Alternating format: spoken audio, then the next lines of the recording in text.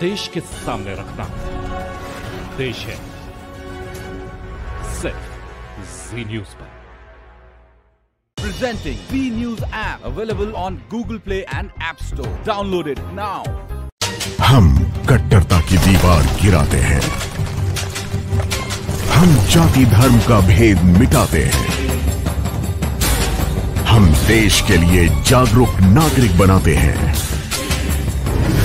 हम राष्ट्रहित के सवाल उठाते हैं ताल ठोक के रोज शाम पाँच बजे सिर्फ़ जी न्यूज़ पर Presenting B News app available on Google Play and App Store. Download it now.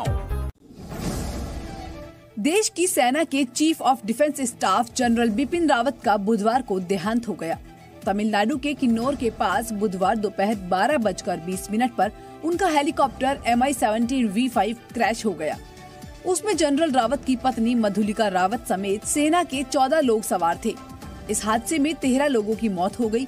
CDS Bipin Rawat Sulur में Wellington defence service staff college को संबोधित करने जा रहे थे। इस विमान हादसे में सीडीएस बिपिन रावत के साथ कुल 14 लोग सवार थे। इनमें उनकी पत्नी Madhulika Rawat, brigadier L A S Lidder lieutenant colonel Harjinder Singh, Naik Gursewak Singh, Naik Jitendra Kumar, lance Naik Vivek Kumar, lance Naik B Sai Teja और हवलदार सतपाल शामिल थे। इस हेलीकॉप्टर को उड़ा रहे ग्रुप कैप्टन वरुण सिंह का इलाज चल रहा है। सीडीएस जनरल बिपिन रावत और उनकी पत्नी के पार्थिव शरीर आज सैन्य विमान से दिल्ली पहुँचेंगे। कल जनरल बिपिन रावत का अंतिम संस्कार किया जाएगा। जनरल रावत का पार्थिव शरीर उनके आवास पर आम लोगों के दर्शन के लिए रखा जाएगा। लोग कल सुबह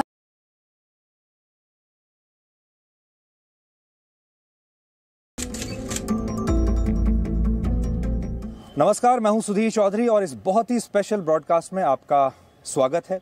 और आज मेरे साथ हैं भारत के पूर्व मुख्य न्यायाधीश जस्टिस रंजन गोगोई और हम उन्हीं के घर पर हैं। सर, आपका बहुत बहुत स्वागत है। जस्टिस गोगोई, कभी टीवी पर किसी को इंटरव्यू नहीं देते। प्रेस से, मीडिया से हमेशा दूर रहते हैं।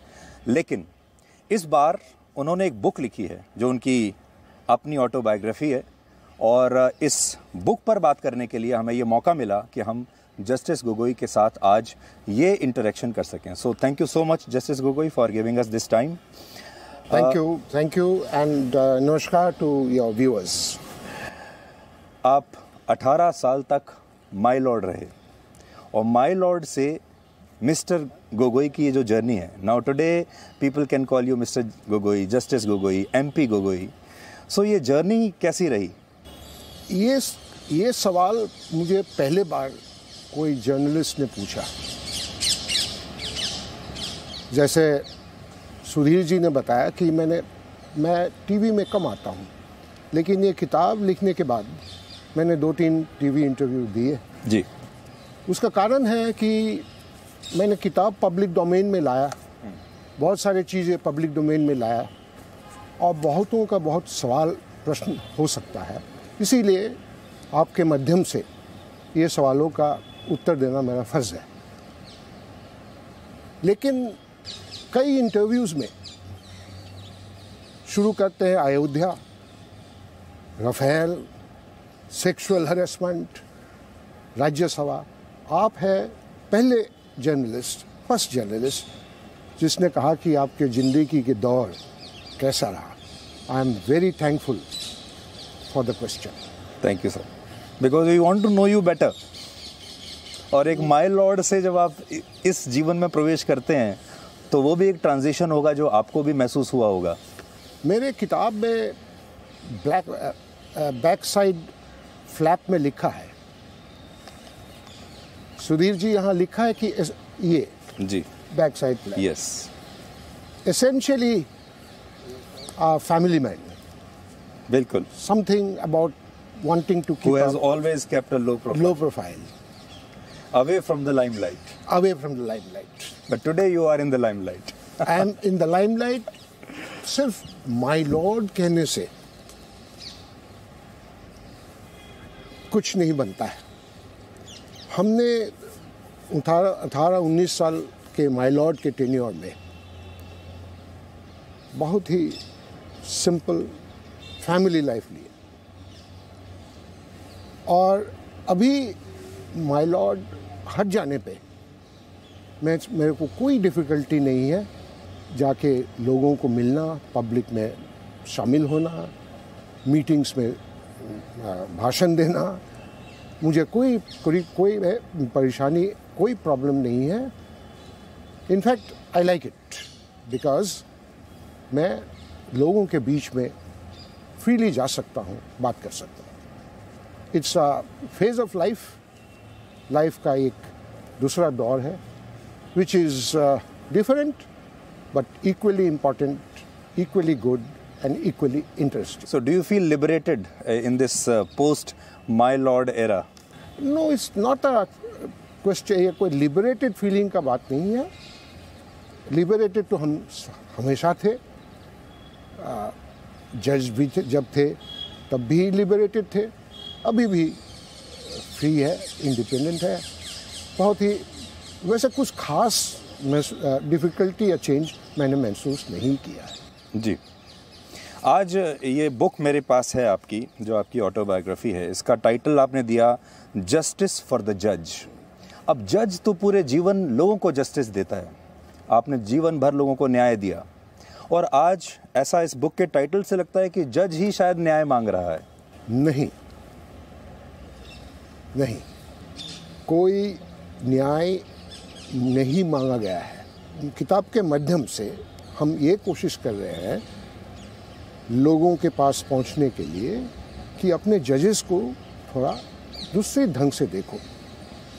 डोंट जज योर जजेस एज यू जज अ गवर्नमेंट सर्वेंट और अ पॉलिटिशियन ये जज का पोजीशन थोड़ा अलग होता है। जज के कुर्सी में जो बैठते हैं, उनके बहुत सारे कंस्ट्रेंट्स होते हैं डिसिप्लिन होता है। वो बोलते नहीं हैं। आप एक जज को जितने भी क्रिटिसाइज करे जाओ, उनके जजमेंट्स पे जितना भी आप उछालो, कीचड़ उछालो, वो बोलता नहीं है, वो रिप्लाई नहीं देता है। लेकिन एक पॉलिटिशियन वो नहीं करते, वो रिप्लाई देते हैं। पब्लिक फोरम में रिप्लाई देते हैं। तो ये जो जजेस साइलेंट रहते हैं, चुप रहते हैं, इसके मतलब वो जुडिशियल डिसिप्लिन फॉलो कर रहा है। इसका आप, इसके आप फ़ायदा मत लो। ये don't take it as a sign of weakness कि आप कुछ भी बोले जाओ, भूले जाओ, क्योंकि आप इसको अगर प्रॉपरली आप सही ढंग से नहीं देखोगे तो आप जज को तो हार्म कर ही रहे हो इंडिविजुअली आप एक इंस्टीट्यूशन ऑफ़ जुडिशरी को आप हार्म कर रहे हो। ये मैसेज है इस किताब का। तो मैं एक नया सवाल बीच में ऐड कर रहा हूँ, क्योंकि आपने ऐसा कहा। आपको अपने इस पूरे कार्यकाल में कभी ऐसा लगा, क्योंकि प्रेस में, अखबार में, आपके बारे में भी, आपकी जजमेंट्स के बारे में भी छपता होगा? कभी अच्छा और कभी ख़राब? ज़्यादातर ख़राब बिकॉज़ मीडिया का नेचर है नेगेटिव पॉइंट्स को पहले पकड़ना। कभी आपको ऐसा लगा कि, कभी आपको you are on the verge of just you know speaking out या आपको लगा हो कि घुटन हो रही है because you want to say something what people are perceiving about your judgement नहीं ऐसा कुछ बात ऐसा कुछ नहीं है। जो आपको करना नहीं उचित नहीं है और आप जो करना नहीं सकते हैं उसके बारे में सोच भी सोचना भी गलत है। आपका जजमेंट आते हैं क्रिटिसाइज होता है। क्रिटिसिज्म इज़ हेल्दी जजमेंट का criticism is healthy it helps जजेस to grow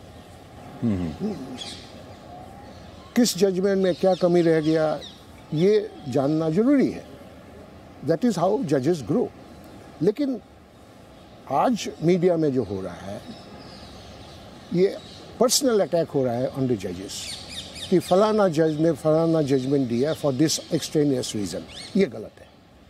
don't criticise the जज क्रिटिसाइज द जजमेंट ये फ़र्क है दोनों में. If you criticise the judgement तो ये सिस्टम के लिए अच्छा है। इफ़ यू क्रिटिसाइज द जज देन ये सिस्टम के लिए डिस्ट्रक्टिव है। जस्टिस गोगोई जजेस जो हैं आमतौर पर रिटायरमेंट के बाद बुक भी नहीं लिखते सुधीर जी आपने कहा कि मैं मिस्टर गोगोई बन गया और आप हमें जस्टिस गोगोई कह रहे हैं। ये क्यों? देखिए देखिए अठारह साल की आदत आपको कितना मुश्किल होता है? हमें तो कोई मुश्किल नहीं है। आप हमें गोगोई बुलाओ हमारे फ़र्स्ट नेम से बुलाओ हमें जस्टिस बुलाओ हमें उसमें कुछ फ़र्क नहीं पड़ता। So long you can identify me I am comfortable तो now I am feeling liberated actually तो रंजन जी आपसे हम ये जानना चाहेंगे कि जजेस आमतौर पर बाद में बुक्स भी नहीं लिखा करते हैं लेकिन आपने एक अपनी ऑटोबायोग्राफी लिखने का फैसला किया। What made you take this decision कि मैं अपनी ऑटोबायोग्राफी लिखूँगा और मैं अपनी कहानी लोगों को बताना चाहता हूँ? सुधीर जी मेरे कार्यकाल में जी। कई मुद्दे पे इंक्लूडिंग जजमेंट्स बहुत चर्चा हुआ। अच्छा। और ये चर्चा is according to me based on misinformation half truths incorrect facts ये किताब किन के लिए है? जिनको करेक्ट फैक्ट्स जानने का इच्छा है। जो लोग करेक्ट फैक्ट्स ऑलरेडी जानते हैं according to them people who think they know the correct facts, even without hearing my version, this book is not meant for them. This, ये किताब is for them, and which is the vast majority, the silent majority, who want to know the correct facts. तो ये किताब उनके लिए लिखा हुआ है जी आपने अपने करियर में न जाने कितनी जजमेंट्स दी होंगी लंबी लंबी जजमेंट्स लिखी होंगी लेकिन जजमेंट लिखने में और किताब लिखने में फ़र्क है। और ये ट्रांजिशन आपके लिए कैसा रहा? जजमेंट के बाद ये किताब लिखना कैसा अनुभव था आपका? And could you make it very you know reader friendly I don't know whether मैंने रीडर री, किताब को रीडर फ्रेंडली बना बताया बना सका कि नहीं। वो मेरा प्रयास था वो मेरा कोशिश था। लेकिन मेरा किताब का लास्ट लाइन आप देखिए। जी। किताब का last line page 208 the last sentence दो सौ अठारह पेज में। दो सौ अठारह? हाँ। और मैंने मैं, मैं आपको निकाल दूँगा। जी। आई विल हेल्प यू मैंने उसको आई थिंक मार्क किया है। ये पढ़िए। आपके दर्शक के लिए this has been my life this is my story there are many other secrets opinions and sentiments that I may or may not take to my grave only time will tell judgment लिखना बहुत आसान काम है। क्योंकि एक जज का कोई पक्ष नहीं होता है। कोई कोई ओपिनियन नहीं होता है। कोई पर्सनल इंटरेस्ट नहीं होता है। आयन कानून and facts of the case इस पे जजमेंट बनता है। The easiest thing according to me सबसे आसान काम जजमेंट लिखना। लेकिन किताब and particularly an autobiography starting from my childhood से 1970 50 years, compress it in 200 pages. Remember 40 year old incidents. Difficult. ये लास्ट लाइन जो सुधीर जी ने पढ़ के, पढ़ा, पढ़ के आपको सुनाया, इसमें सारे कहानी छुपा है। किताब लिखना कितना डिफ़िकल्ट Yes. काम है कि मैं अपने पूरे हन, पूरे सौ के सौ सीक्रेट्स या फैक्ट्स मैं आपके पास अभी नहीं लाया। बहुत बहुत वजह है बहुत कारण है इसका। और ये फैक्ट्स कभी बाहर आएँगे नहीं आएँगे आई कान से ये सवाल मैंने एक बार फॉर्मर प्रेसिडेंट प्रणब मुखर्जी से भी पूछा था कि उनके पास भी बहुत सारे राज थे बहुत सारे सीक्रेट्स थे क्योंकि वो इतने पब्लिक लाइफ में इतने दिनों तक रहे इतनी इंपॉर्टेंट पोजीशंस पर। और आप भी एक ऐसी पोजीशन पर रहे हैं कि आपके पास भी सीक्रेट्स तो बहुत होंगे जो इसमें अभी आपने लिखे नहीं हैं। So what happens to to those secrets will you take them to your grave or we will get to know about them someday I said in my book only time will tell समय ही बताएगा सी किताब लिखने में हमको अपना story लिखना है अपने जीवन के। इंस्टीट्यूशन के बारे में लिखना है। लोगों लोग जो इंस्टीट्यूशन से जुड़ा हुआ है उनके बारे में लिखना है। और सबसे इंपॉर्टेंट है कि ये सारी कहानियाँ लिखने में इंस्टीट्यूशन को कोई डैमेज ना हो। The institution must be protected at all cost भला ही मैं सब कहानियाँ या सब राज या सब सीक्रेट्स पब्लिक डोमेन में ना लाऊं let me make that sacrifice in my book. Let my book remain incomplete. Ji Let me be dissatisfied. Let me be half satisfied. But the institution cannot be cannot be harmed. That is why किताब लिखना और judgment लिखना दो अलग चीज़ें हैं। अब since you spoke about the institution तो मैं अब आपको आपकी बुक के पेज नंबर 101 पर ले जाता हूँ where you have written about the famous और इनफेमस प्रेस कॉन्फ्रेंस और वो प्रेस कॉन्फ्रेंस को लोगों ने अलग अलग तरीके से लिया था। कुछ ने कहा कि आपने you have actually damage the institution आज, और आपने लिखा है कि आप नहीं जानते थे जब आप वहाँ जा रहे थे कि ये इतनी बड़ी प्रेस कॉन्फ्रेंस होने वाली है और पूरा मीडिया वहाँ होगा। आपको ये बताया गया था कि शायद कुछ दो चार जर्नलिस्ट आ रहे हैं और उनसे बात करनी है do you today regret that you went there and you are part of that that group नहीं I don't regret I don't regret for a moment I have not regretted any decision or action taken by me in life. You may think it is right, you may think it is wrong. When I take a decision, I stick by it. Press conference जो 12 12 जनवरी 2018 में हुआ था 12 जनवरी 2018 my disagreement with, is, with it is not meeting the press and speaking to the press, लेकिन the size and magnitude of the press conference मुझे ये बिल्कुल ही महसूस नहीं था कि इतने लोग, इतने प्रेस के मेंबर्स इतने वैन्स इतने कैमराज आएँगे।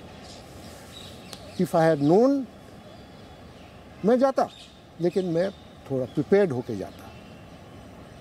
I would have debated with in my self जब ये कहा गया मेरे को let us go and meet the press मैं my understanding and perhaps I am wrong my understanding was supreme court में 20-25 प्रेस मीडिया लोग हमेशा आते हैं, दो प्रेस लाउंज है, उन्हीं में से कोई आएँगे, थोड़ा बातचीत होगा, चाय पानी होगा, चले आएँगे।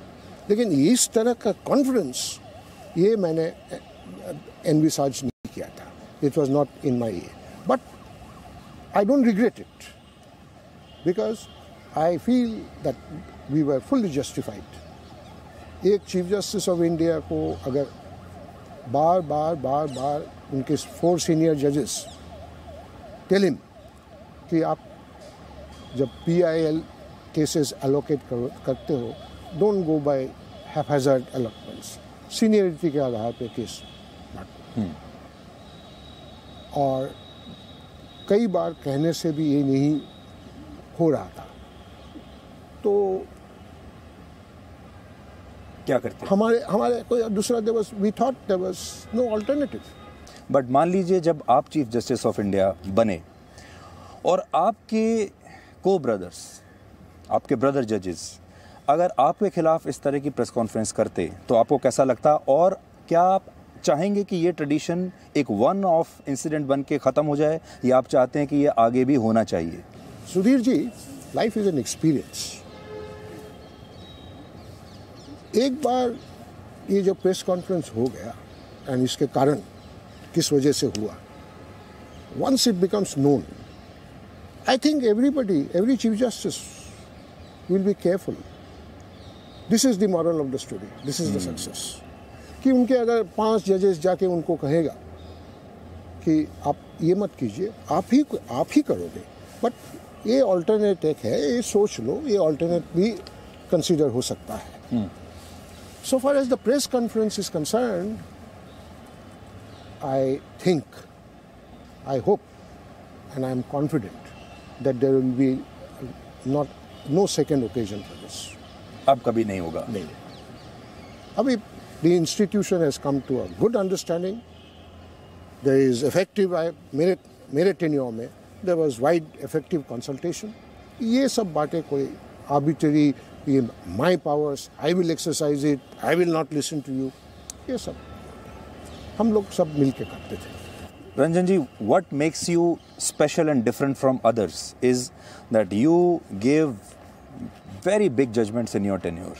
और उन जजमेंट्स की बात तो होगी ही, जिसमें सबसे बड़ा जजमेंट को लेकर बात आती है अयोध्या के जजमेंट को लेकर। डेढ़ सौ साल पुराना विवाद जिसके बारे में हर जज ने हर बेंच ने यही सोचा कि हमसे जो आगे आएगा वो सोचेगा वो हम अभी किसी तरह से इसमें से निकलते हैं।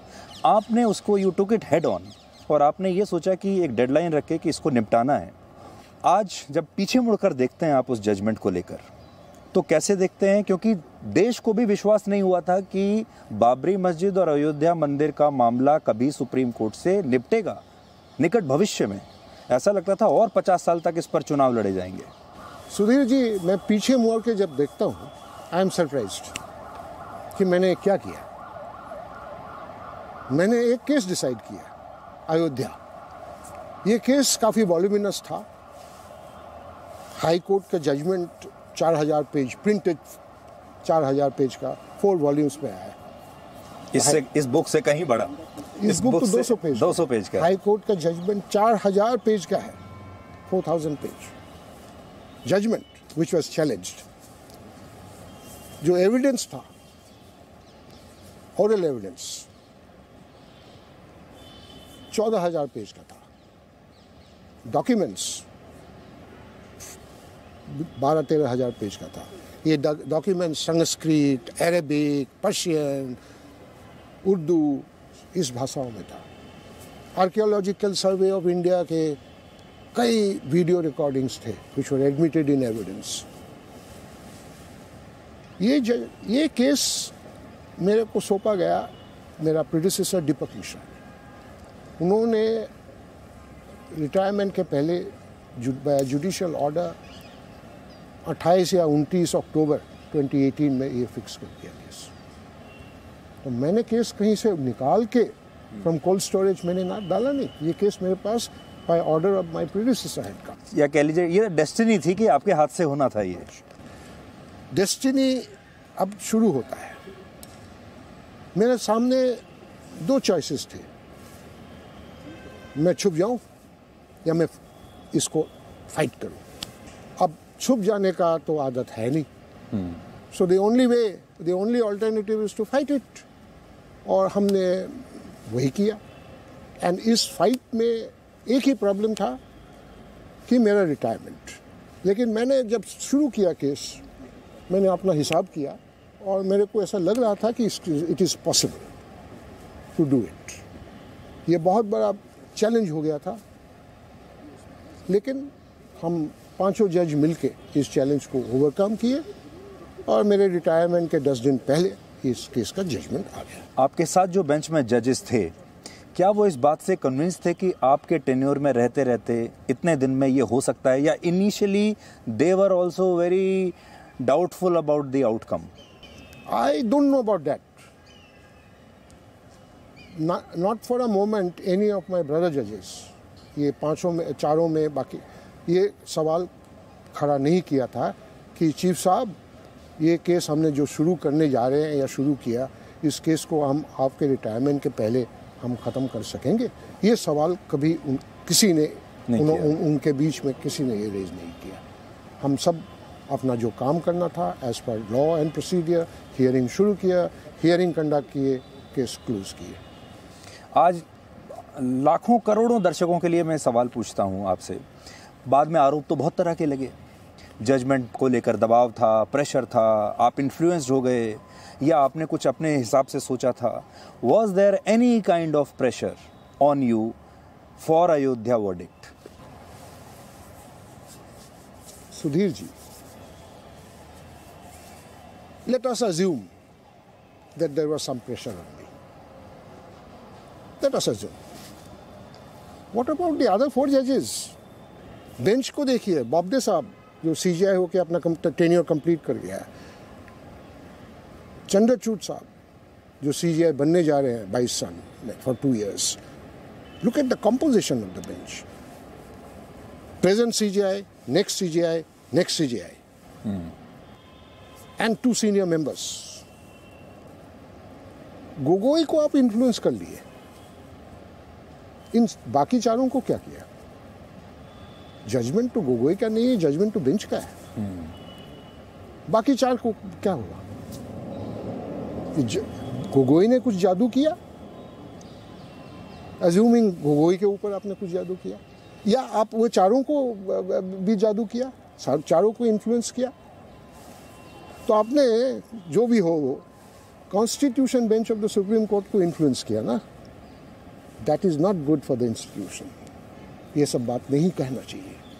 ये इंस्टीट्यूशन के लिए this great institution this great supreme court of India this is not in the health of the institution इस जजमेंट के बाद एक बात मैं बड़ी अखबारों में पढ़ रहा हूँ कि आप अपने ब्रदर जजेस को ये पूरा जजमेंट देने के बाद आप एक होटल में ले गए और आपने वहाँ पर साथ में डिनर किया। और लोग इसको इस तरीके से ले रहे हैं कि ये एक सेलिब्रेटरी डिनर था, उस दिन आपने सेलिब्रेट किया। उसके बारे में आप हमें बताइए कि ये डिनर जो आप लेकर गए अपने ब्रदर जजेस को उस दिन, वो क्या था? ये अयोध्या हियरिंग 6 अगस्त को शुरू हुआ और जजमेंट आया 9 नवंबर को। अगस्त, सितंबर, अक्टूबर, नवंबर। Almost three and half months ये पाँचों जज spend nearly ten hours together every day सवेरे 10 से शाम 6-7 बजे तक कोर्ट और चेंबर में बीच बीच में वीकेंड्स में डिस्कशंस ये जब जजमेंट खत्म हुआ जब जजमेंट्स प्रोनाउंस हो गए तो हमने कहा चलो आज काम नहीं करते every day we work very hard. Individual जजेस रात को एक बजे दो बजे तक काम करते रहे। काम खत्म हुआ। चलो आज ब्रेक लेते हैं आज शाम को काम नहीं करते हैं। कल सैटरडे है कोर्ट नहीं है। जजमेंट आ जाएगा। या जजमेंट है कल नेक्स्ट डे हाँ ये फ्राइडे को हुआ था। सैटरडे है कल जजमेंट आ जाएगा। चलो आज बाहर चलते हैं। इसमें और कुछ नहीं है। क्या सेलिब्रेशन करना है? What is there to celebrate आपके जो सवाल है और आप जो कह रहे हैं कि लोग बोलते हैं इस ये बोल रहे हैं कि सेलिब्रेट कर रहा है अयोध्या जजमेंट इसमें there is again a very dangerous thing कि पाँचों जज they committed to a particular line of thinking और a particular conclusion and once they succeeded there then they celebrated that ये ये ये these are these are these are wrong things this are very wrong things ये नहीं बोलना चाहिए you did not like it no no this हम individually मेरे पे आपको जो बोलना है बोलिए अब बोल बहुत लोग बहुत कुछ बोले हैं आई डोंट ठीक है I tolerate it I don't like it I tolerate it but institution को नहीं बोलना चाहिए दिस जजेस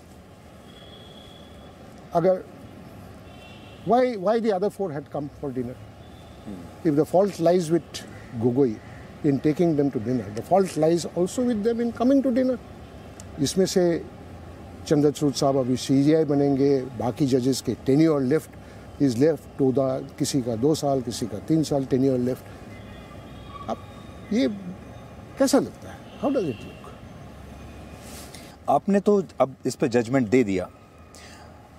और ये डेढ़ सौ साल पुराना विवाद था। ये पूरा स्टडी करने के बाद क्या आज आप ये कहेंगे कि इट वॉज़ ओवर हाइप्ड इसके अंदर इतना सब्सटेंस नहीं था जितना कि इसको प्रेस ने पब्लिसिटी दी, जितना कि इसके बारे में एक माहौल बनाया गया, जितना इसके बारे में चुनाव में इसे इतना बड़ा मुद्दा बना दिया गया। उतना सब्सटेंस इसमें नहीं था एंड इट मुझे लगता है कि it might be in fact easier case for you to decide देखिए Sudhir ji I think for me undoubtedly so और बाकी जजेस के लिए भी, ये Ayodhya case was just another case it was a big case big not from the point of view of law और issues big in terms of size जैसे आपको बताया, चार हज़ार page eleven thousand page thirteen thousand page it was a big case in that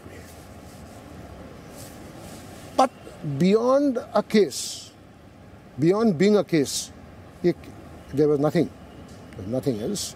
ये पाँच पाँच सौ साल पुराना मुद्दा है डेढ़ सौ साल पुराना मुद्दा है रिलीजन घुस हुए हैं पॉलिटिकल इम्प्लीकेशंस है ये सब अगर जज जज के माइंड में आ, आ, आएगा कभी if it ever comes to the mind of the जज वो डिसीज़न नहीं दे पाएगा कि ये जज ये केस में, फलाना केस में ये पॉलिटिकल इम्प्लीकेशंस है। मैं अगर इस ढंग से डिसाइड करूँ तो ये होगा, ये करूँ तो ये होगा।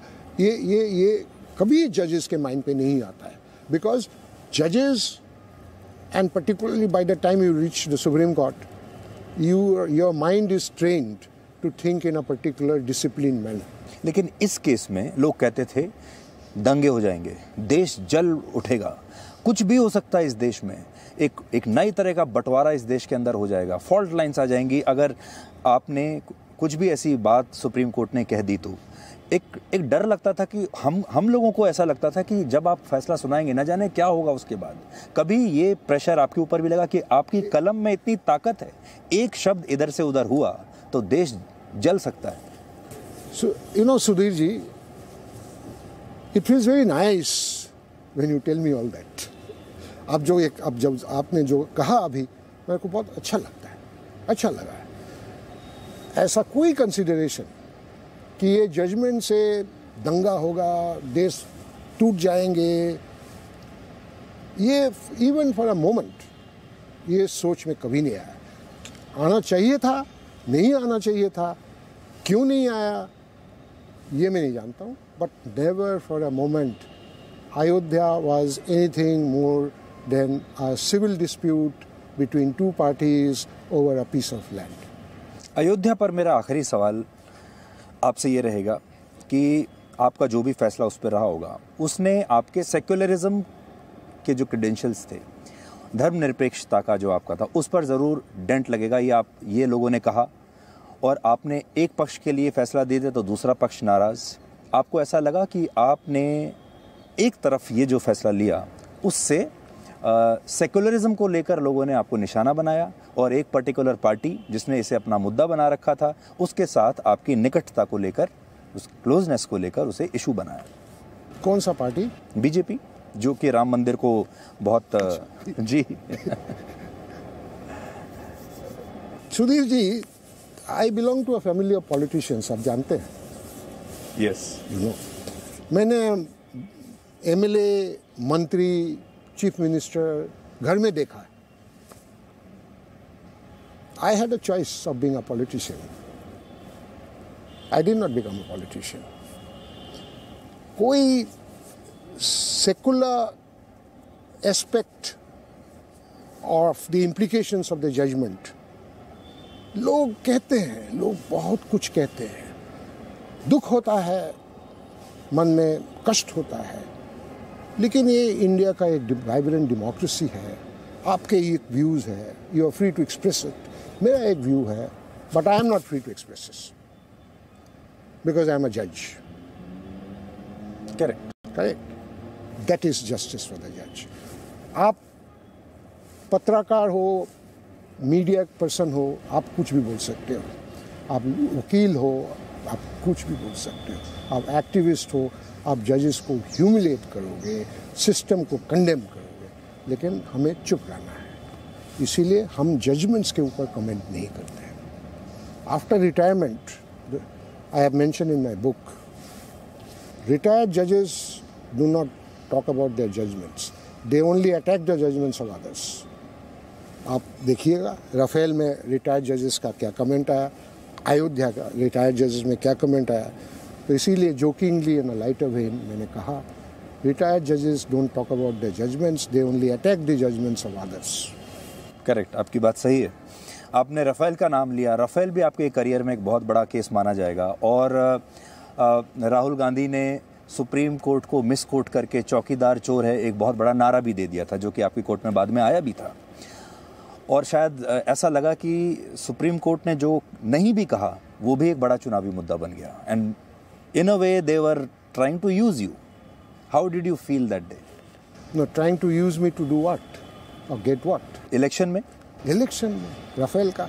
चौकीदार चोर है और आप जानते हैं कि रफेल जो है वो बहुत बड़ा देखिए आपने जो हमने अयोध्या की बात की और रफेल की बात की। ये दोनों वो मुद्दे हैं जिनके ऊपर चुनाव लड़ा जा रहा था। 2019 का चुनाव रफेल पे लड़ा जा रहा था and you are going to decide you are going to decide about Ayodhya and Babri also तो बहुत कुछ चुनाव का आउटकम आपके हाथ में था। सुधीर जी, आप, मैं जब ये केसेस मैं जब ऑफ़िस में था और इलेक्शन की की ये इलेक्शन में राफेल और बबरी मस्जिद अयोध्या केस और इलेक्शन इश्यूज़ ये मेरे को क्यों नहीं बताया आप पहले? Why didn't you tell me about this cases earlier अभी क्या बोल, बोलने से क्या फ़ायदा है? आई शुड हैव नोन देखो सुधीर जी तब आप मिलते ही नहीं थे किसी से आई नहीं नो मिलते। Your your gates were close that time and you you hardly met any any media people that time that is on a lighter vein. Judge ka, his religion, his language, his thinking is the law and the constitution of India. Election and politics and political parties, they are very important, Obviously, in a, in a democracy. But these things don't come to the mind of the judge. Rafale क्या था मैं आपसे एक बात पूछूँ Rafale का जो main controversial judgement और जो रिव्यू में जहाँ पे राहुल गांधी को सुप्रीम कोर्ट ने कहा कि बी केयरफुल इन फ्यूचर किसका जजमेंट है ये किसने लिखा है ये ऑथर कौन है? जस्टिस एस के कौन है? Not Gogoi main judgment is by Gogoi both the judgments are unanimous main judgment even even justice Joseph review petition में दो जजमेंट आया। एक संजय किशन कॉल एक K M Joseph even justice Joseph has said review should be dismissed so the review should be dismissed is unanimous right then why is it called my judgment आपने कहा नहीं लेकिन आप कह रहे- कहने जा रहे हैं ना कि लोगों में चर्चा है कि ये judgment has favoured the government yes then it's the judgment of SK call which has favored the government. Not my judgment. Correct? तो गवर्नमेंट ने एसके कॉल को इंटरफियर किया but do you think you had become the poster boy that time और जो भी हो No, रहा I था did not become the poster boy. I, be- I became the punching bag. and you know why I became the punching bag? Why Because I am from Northeast. अच्छा Yes, sir. Did you ever feel Yes, this kind I- of No, I am feeling now. I didn't feel then. I'm feeling now. अच्छा Yes. It's a big thing what you are yes, saying I've said, I've said it. I've said it to you. I have not become the poster boy. Poster boys are not cannot cannot come from the northeast. Punching bags. I am a punching bag of the judiciary. आपको ऐसा क्यों लगा what basis you are making this Why allegation Gogoi, Gogoi, Gogoi, Gogoi all the time. Ayodhya judgment पाँच जजेस ने लिखा गोगोई जज गोगोई को फ़ायदा हुआ गोगोई ने गवर्नमेंट को हेल्प किया राफेल ने unanimous judgment by three Gogoi ने किया क्यों why what is the logic tell me what is the logic except that you want a punching bag. And what a easier punching bag than one which cannot give back. I don't have anybody in Delhi to support me. I have no politicians. I have no friends in the judiciary to support me. Who will? Did you f- ever feel lonely because you are coming from northeast? No, I didn't feel lonely because I come from the northeast. But I felt lonely, yes. This northeast feeling has generated in me of late. And I think I'm fully justified in saying so. How will you fix it? That time will take care of itself. But I'm telling you one thing, Sudhirji, through your medium. Let the powers be, whether they are in the government or they are in parliament. Northeast needs special handling. Beyond that, I don't want to say. Treat Northeast with care, caution, with compassion, with understanding. This is not the way of doing it. No, what you are saying it makes me feel very sad. And जो आप बात कह रहे हैं अगर ऐसा impression है तो this why? is very O- yeah. Otherwise, why? Tell me why? Why? Why attack and attack and attack? As दो साल से I have retired. I went back for to lead a peaceful life in Guwahati. I have built a new house there with all my savings. I couldn't. Attack, attack, attack, social media attack, newspaper columns, then. And I told you, आप पहले journalist हैं जो ये interaction interview conversation जो भी आप कहिए you started on a different note नहीं तो क्या है बताइए look at your medias and look at the, uh, uh, the look at the imagination of a lot of people. Sexual harassment, Rafael, Ayodhya, Rajya Sabha. These are the four issues. आज चार दो साल से इसको आप घिस घिसे पिटे इस, इसी पे लगे हो you can not find the fifth issue why there has to have, there has there has to be some decency somewhere. Things have to stop somewhere. Justice for judge. नहीं I can understand what you are saying and as I said this is sad कि आज आपको भी ऐसा महसूस हो रहा है और इतना दुष्प्रचार हुआ इनफैक्ट मैं आपकी बुक में ही कोट कर रहा हूँ आपने लिखा कि I should have realise the enormous power of the media to do और अनडू मेक और unmake My passive response in the situation was perhaps due to my lack of exposure on this front. अब मैं लिख ही दिया तो और क्या बोलूँ मीडिया की ताकत को आप समझ नहीं पाए नहीं, बिल्कुल। और फिर उसका शिकार हो गए ये शिकार part I don't know but लेकिन मैं ताकत नहीं समझा Victim. वो भी मैं नहीं I could not understand the power of the media and Sudhir ji I do not want to understand that power because it doesn't concern me it does not bother me my regrets are that by hurting a man, you have hurt the institution. And that man held no less an office than the CJI. You have hurt the institution, you have damaged the institution. क्योंकि हमने देखा कि हमने और भी बहुत सी इस देश में देखे हैं और भी बहुत सी हमने जिन्होंने देखे हैं जिन्होंने और दूसरी बाद में कॉन्स्टिट्यूशनल पोस्ट ली हैं गवर्नर भी बने हैं उन्होंने भी जजमेंट्स दिए हैं बट आपको ऐसा लगता है कि किसी ने पिक एंड चूज़ किया और लगातार टारगेट किया? मेरे किताब में मैंने लिखा है the attack is selective the attack is selective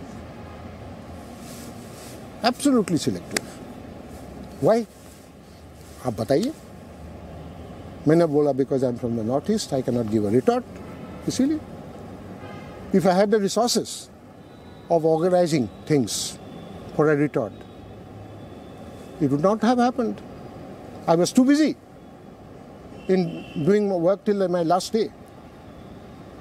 मैंने अयोध्या के बाद तीन जजमेंट्स दिए हैं अयोध्या के बाद Rafale Sabarimala Roja Mathew Roja Mathew was uh, with regard to the powers of parliament to bring money bills through money bills bring other laws I worked till the last date. Was it a mistake? I should have functioned differently. I should have uh, uh, been more practical. मैंने लिखा है किताब में I didn't understand the power of the media and I don't want to understand I am telling you because I am not bothered I have reached a stage of supreme indifference आप कुछ भी बोल, बोल लो it doesn't touch me अब हम इस interview के आखिरी अध्याय पर आते हैं और बात उस इशू की करते हैं जिसने शायद आपको बहुत परेशान किया होगा, जिसने आपको शायद ये बुक लिखने पर भी मजबूर किया होगा और जिसमें आपने, आपको लगा होगा कि आपके साथ justice has not been done to a justice that sexual harassment case और मुझे लगता है कि लोग उस मामले पर भी आपकी बात ज़रूर सुनना चाहेंगे। और आज आपके पास ये पूरा मौका है, मंच है बताने का कि उस पूरे केस में ऐसा दिखाने की कोशिश की गई that you are very powerful you are misusing your position आप you can influence the investigation और आपने जस्टिस होने नहीं दिया। ये एक इम्प्रेशन आपके खिलाफ क्रिएट किया गया। सो so, आप उसके बारे में आज क्या कहना चाहेंगे?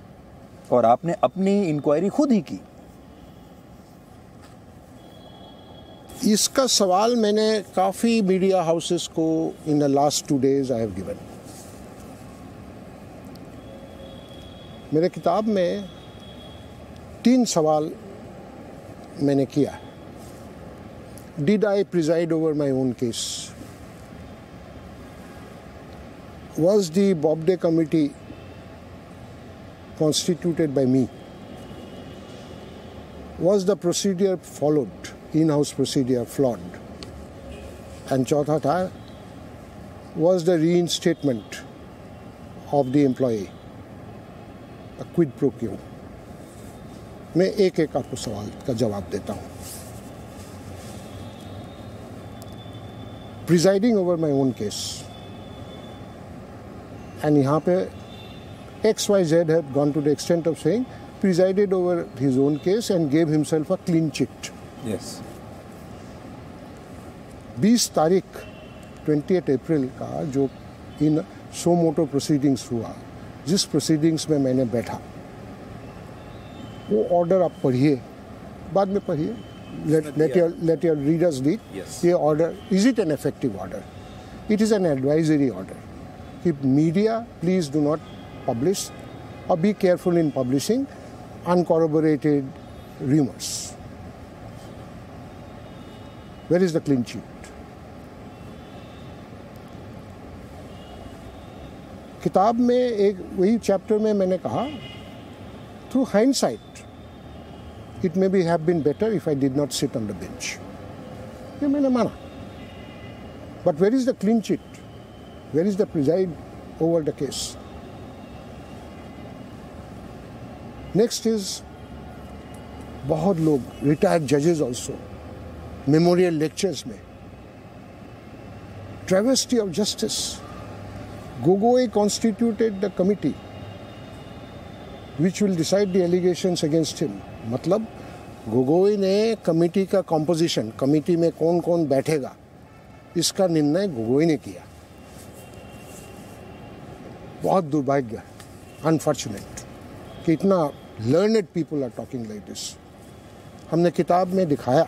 विद डॉक्यूमेंट्स कि 23 मई अप्रैल को मैंने by writ letter I had given handed over this matter to justice Bobde the senior most जज और उन्होंने with the approval of the full court supreme court के पूरे जजेस यस कहने पे ये कमेटी कंस्टिट्यूट हुआ है। 25 तारीख को ये कमेटी रिकंस्टिट्यूट हुआ, क्योंकि Ramana justice Ramana wanted to stay away The reconstitution order also was approved by each and every judge of the Supreme Court in writing. और ये फुल कोर्ट का रेजोल्यूशन एक किताब में है इट्स एन एनेक्चर तो मैंने कॉन्स्टिट्यूट किया बॉबडे कमेटी? मैंने क्या किया? सुधीर जी, मैंने बॉबडे को अपना सिर दे दिया और रस्सी भी दे दिया कि hang me because he is the person who would have been benefited most with one line there there is there is a prima facie case against justice Gogoi ये बॉबडे ने अगर लिखता Bobde would have got seven months more of ten year मैंने अपना नेक और बॉबडे साहब को दिया और रस्सी भी दे दिया। फांसी दे दो मेरे को। Did I constitute that committee पढ़िए किताब। क्या बोल रहे हैं ये रिटायर्ड जजेस इन पब्लिक मीटिंग्स जहाँ लोगों, तालियाँ तालियाँ। What is this Bobde committee followed in house procedure that is not in accordance with law in house procedure 1990 में 1999 में बना। 21 साल, आज 22 साल हो गया। ये है is a facet of independence of judiciary कि कोई भी जुडिश एक जज के अगेंस्ट में कुछ इल्ज़ाम लगाए तो ये सीधा इंक्वायरी में नहीं जाता है। द जज will become demoralise the institution will suffer ये द जजेस themselves in a committee will decide it this is in house inquiry ये सारे procedure no outsiders are allowed no advocates are allowed ये सारे procedure is there in black and white and this procedure is held the ground twenty years आप क्या कहते हैं? कि नहीं नहीं नहीं नहीं गोगोई के साथ। ये प्रोसीजर नहीं चलेगा। आपके लिए अलग बनेगा। आपके लिए मेरे लिए अलग बनेगा। कहाँ से बनेगा? गोगोई के लिए कानून इज़ डिफरेंट आपके लिए कानून इज़ डिफरेंट भाई गोगोई? बताइए। कानून आपको पसंद नहीं है। आप इनएडिक्वेट कानून। कानून बदल दीजिए। लेकिन जब तक कानून रहता है उसको यूनिवर्सली अक्रॉस द बोर्ड सबके लिए कानून समान होता है। आपको ऐसा लगता है कि सुप्रीम कोर्ट में एक लॉबी पहले से काम कर रही थी आपके अगेंस्ट ये फ्रीडम ऑफ़ एक्सप्रेशन को भी मुद्दा बनाते हैं बाकी चीज़ों को भी मुद्दा बनाते हैं। आपने कभी बोलने नहीं दिया और इसलिए उन्होंने they try to hit you below the belt I don't मैंने ऐसा कभी महसूस नहीं किया। आ, मैंने सारे सभी लॉयर्स को इक्वल इम्पोर्टेंस दिया।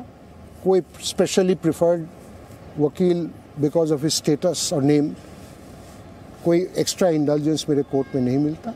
इसका न, इसका नतीजा इसका रिज़ल्ट कुछ भी हो सकता है I don't know I am unaware and I don't care ये चौथा सवाल मैंने जो on the sexual harassment chapter मैंने किताब में लिखा री इंस्टेटमेंट of date employee reinstatement of the employee was made during my tenure not after my retirement. I saw that letter also yes. in your book.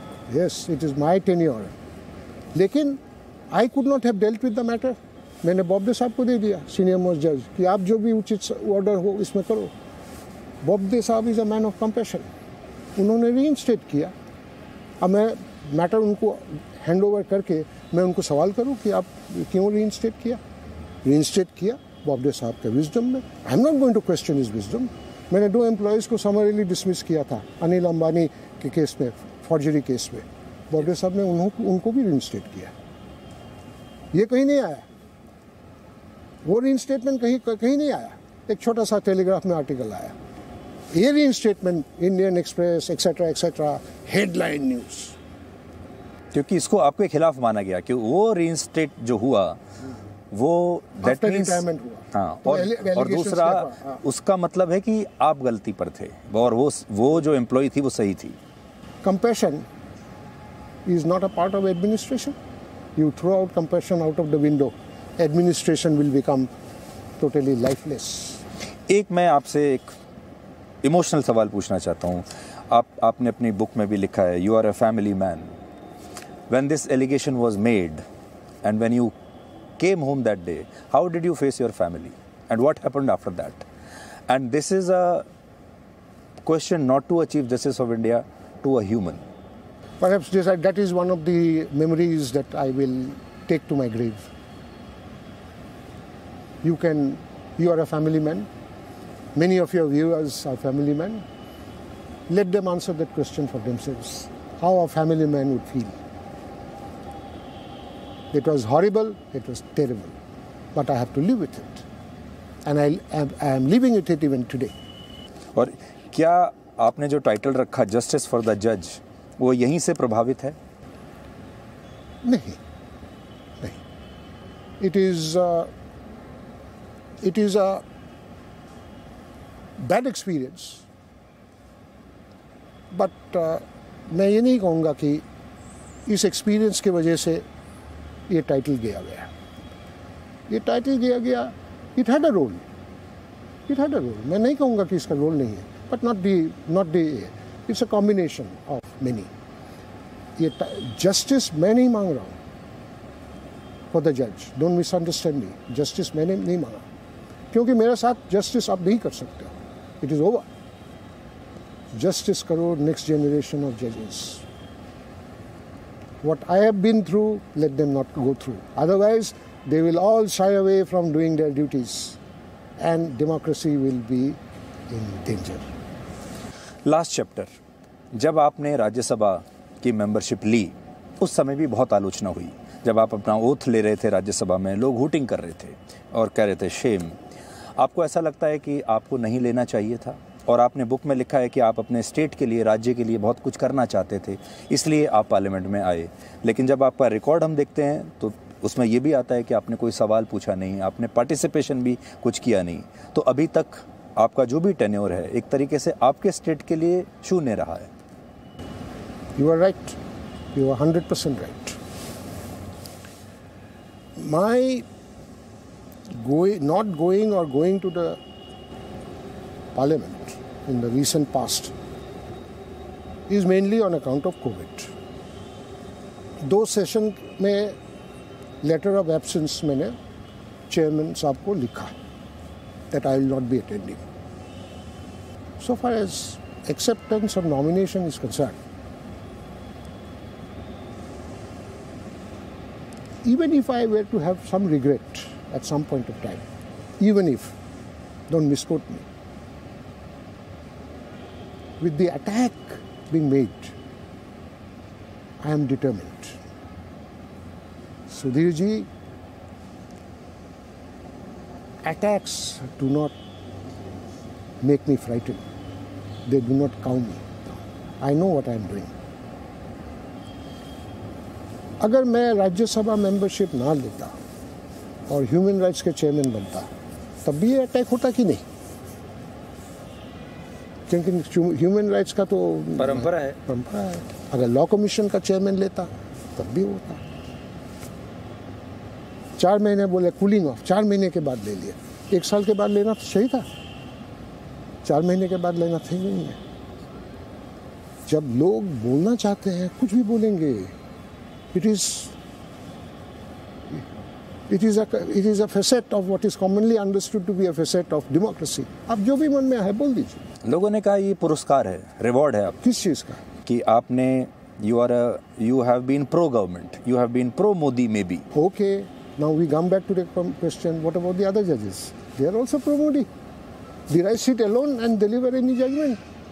तो मैंने क्या मजिक किया बताइए अगर मैं पाँच जजेस को ऊपर मजिक करके उनको मेरे I could make them agree to my line of thinking तो मैं ये जो मेरे को क्रिटिक्स कर रहा है उनके ऊपर मैं मैजिक नहीं चलाऊं कि तू भी आ जा मेरे साथ। बताइए। तो सर हम एक former chief justice of India को इंटरव्यू करने के लिए आ रहे थे तो मैंने पूरी बुक पढ़ी और I tried my best to do justice with this interview क्योंकि बिना तैयारी के आपके साथ आ नहीं सकते थे। तो सारे इश्यूज़ हमने कवर किए बट ऐसा लगता है कि अभी भी आपके जीवन को पूरी तरह से इसमें हमने देखा नहीं है। What next after this time will tell.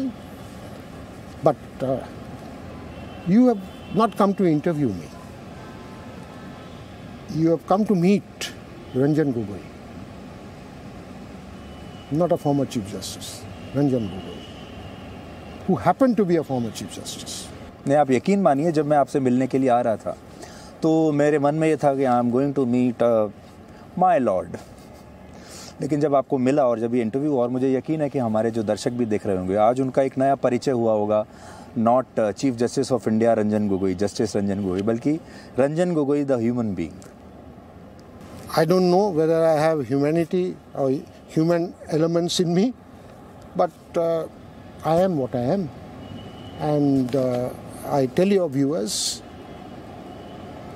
I would at any day prefer to lead a quiet life than noisy life. A quiet, peaceful life, which perhaps is not in my destiny. या ऐसा हो सकता है because तो आजकल क्या करते हैं आप? मैं बहुत कुछ करता हूँ। और आजकल क्या करता हूँ ये भी आप पहले जर्नलिस्ट है जो मेरे को पूछा। Nobody is interested in what I am doing now everybody is interested कि मैंने क्या किया? ये गलत क्यों किया? ये गलत क्यों किया? मैं अभी आर्बिट्रेशन नहीं करता हूँ। अच्छा। मैं कभी कभी गलती से दो चार ओपिनियन दे देता हूँ। I earn something from that क्योंकि आप राज्यसभा से भी पैसा नहीं लेते नहीं आपने बुक में लिखा है you are not drawing your salary as M P I am doing not only salary I am not even drawing any allowances my pension is not enough so I give opinions that too selectively one in three months keeps me going I am mm, in Assam, I am interacting and meeting with people who are doing a lot of social work, okay and I like. This is how I spend my time. आपने जो कहा आखिरी सवाल मैं लोगों के लिए भी पूछ लेता हूँ बहुत लोगों को ऐसा लगता है और ये सवाल सीजीआई से नहीं रंजन गोगोई से है क्या सुप्रीम कोर्ट में भी भ्रष्टाचार है? क्या सुप्रीम कोर्ट में भी करप्शन है? इस सवाल का जवाब मैं इस ढंग से दूँगा। Corruption is as old as society corruption has become a way of life acceptable way of life और जजेस don't drop from heaven Does it answer your question? Partially. but maybe we'll wait for your next book for this. Sudhirji, it's not very easy writing a book. I took one year, three months to write this. I told you. Let me see what response I get to the book. Thank you so much sir thank you so नमस्कार। Much बहुत अच्छा लगा आपसे बात करके और हमें लगता है कि रंजन गोगोई से लोगों का परिचय ज़रूर हुआ होगा और उन्हें अच्छा लगा होगा thank you so much to all your viewers, namaskar. Thank you thank you so much sir आइए सर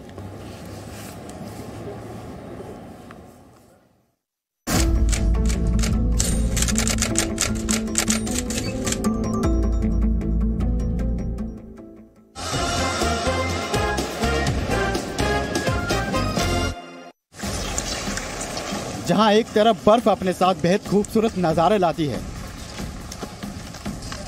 वहीं दूसरी ओर ज़्यादा बर्फ़ लोगों की मुसीबतें बढ़ा देती है।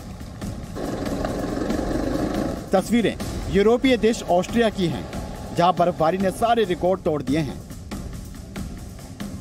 यहाँ बर्फ़ लोगों के लिए आफत बनकर बरस रही है। लगातार हो रही बर्फबारी में कई लोगों की गाड़ियाँ फंस चुकी हैं।